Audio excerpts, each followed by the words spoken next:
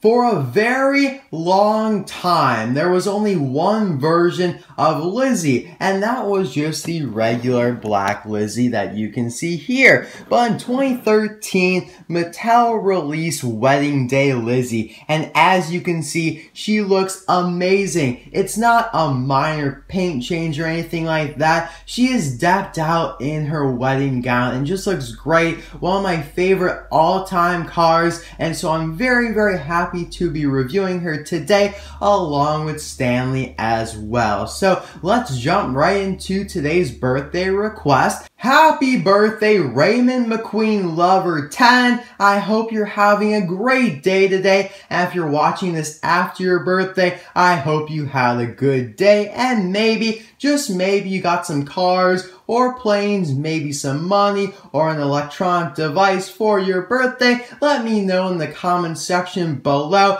And if anyone else would like to make their own birthday request, feel free to do so, but watch the video in the description below. It's right at the top. You can't miss it. And in about 11 minutes, you'll be a pro at making suggestions and of course birthday requests as well. So let's dive right into the review here of Wedding Day Stanley and Wedding Day Lizzie. So, if you guys don't know, they were released in a Disneyland exclusive box set for 2013. There was another box set as well that included these three. We have Stanley, McQueen with opening hood, and Mater with clock, all in a sepia tone. Now, if you guys don't already know, all the cars I just showed, these three and the Wedding Day Stanley and Lizzie are from the Cars Toon short time travel Mater. That was the last short to be focused around Mater,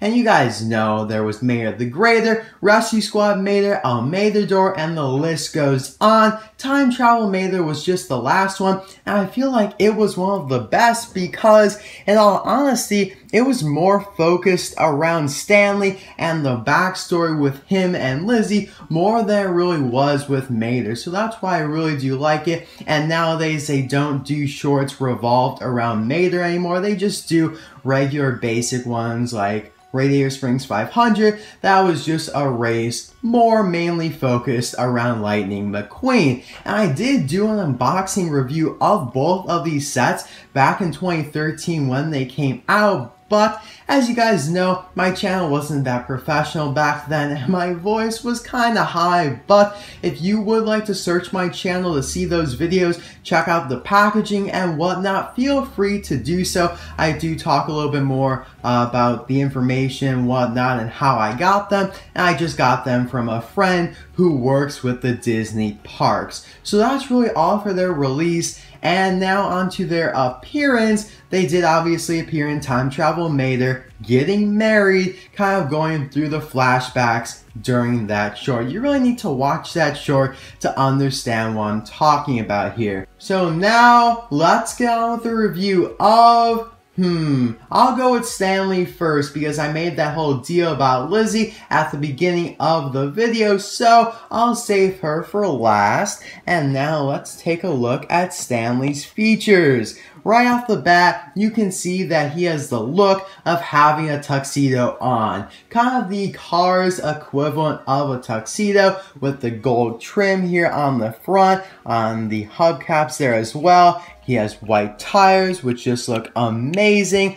Love the gold handles there as well. And toward the back here, we can see the just married sign along with his license plate that reads 1015, a very small number there because it was back in the day. And he does have the tailing cans here, which is something that a lot of couples did when they went on their honeymoon. They would attach cans to the back of the vehicle that they were driving in to celebrate their marriage. I don't really think many people do that anymore though, but what do I really know about that kind of stuff? And he does have this roll down thing right here. Don't really know what that is for either, but it's a nice addition. And he does have the kind of storage in here like he did with the sepia tone Stanley As you can see, they're very, very similar, just different paint schemes, and obviously the sepia version does not have the just married sign, nor the tailing cans.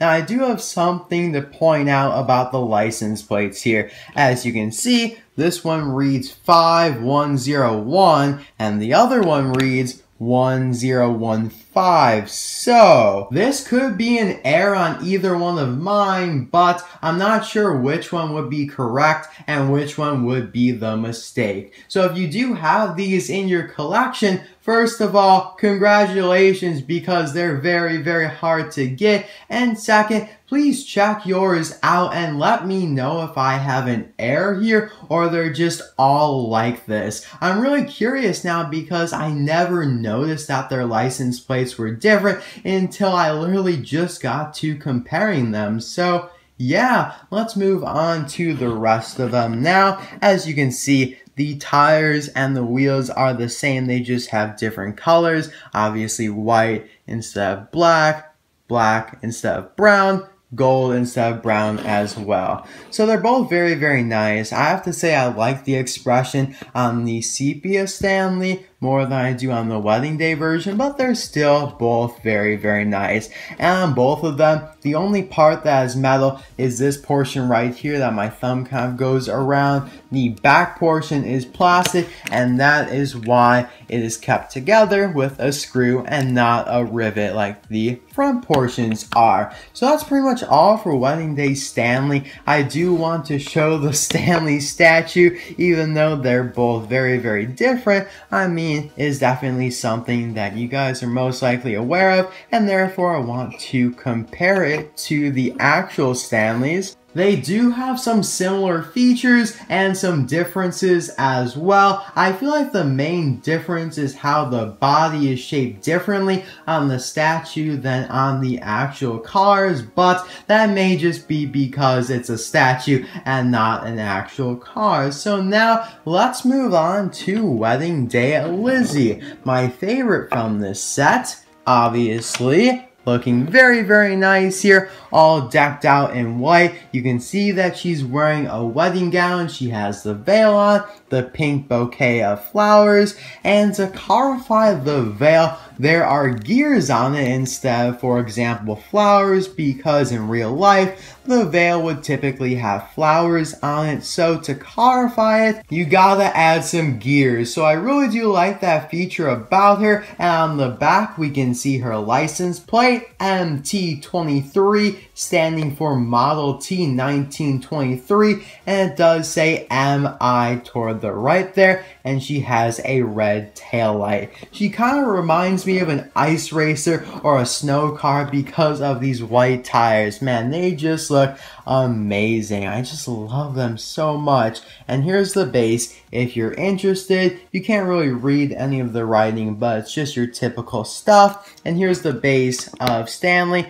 I forgot to show it earlier. Just, you know, your typical stuff made in China, Disney Pixar, Netherlands address, and the date stamp there.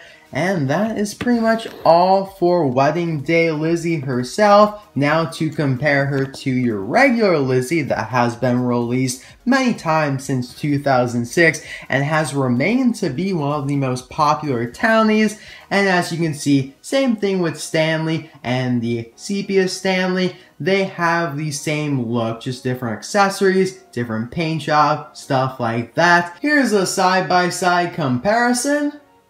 Let's move on to the back now. And like I said earlier, they're very, very similar, just different colors. And obviously the wedding day version has some additional features. So that is all for Wedding Day Lizzie and Wedding Day Stanley. Let me know in the comment section below which one is your favorite. I definitely prefer Wedding Day Lizzie, but maybe you like Wedding Day Stanley better. So let me know down below. And thank you for watching as always. I hope you all enjoyed and thanks again for the birthday request. Raymond McQueen Lover 10. Hopefully you had a great day and this video made it even better. So I'll see you guys next time for another video. I know, very surprising. I'm on a break from YouTube, yet I did two videos in one day. Kind of crazy, but that's just how it worked out with a birthday request being on the day